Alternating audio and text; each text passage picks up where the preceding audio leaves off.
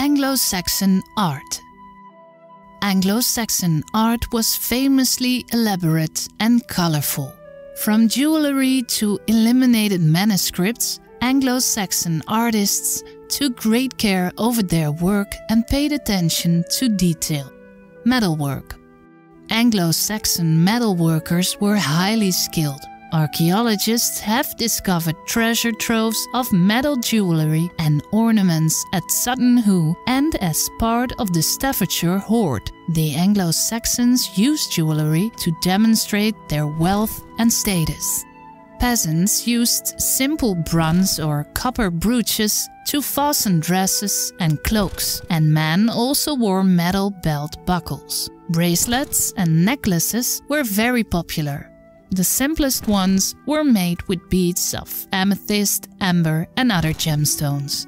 Only the richest people could afford gold and silver jewelry. Illuminated manuscripts. Anglo Saxon artists are perhaps most famous for their illuminated manuscripts. These were handwritten books, brightly painted and decorated with gold or silver leaf. The first letter of each paragraph or chapter was large and highly decorative. Artists also included tiny, detailed pictures and elaborate borders. A famous example is Bede's Historia Ecclesiastica Gentis Anglorum, Christian history of the English people. Ivory carvings.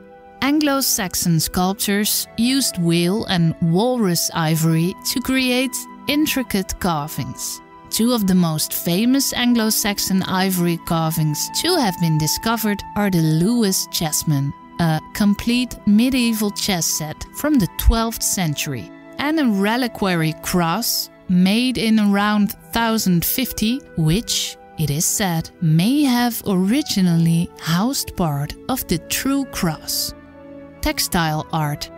The Anglo Saxons remain famous for their tapestries and opus anglicanum embroideries. These embroideries were made of silk and woven with gold and silver thread. Anglo Saxon textiles from England were highly prized and exported far and wide. One beautiful example is the Toledo Cope, an exquisitely decorated ceremonial cloak showing birds, saints, and the Virgin Mary.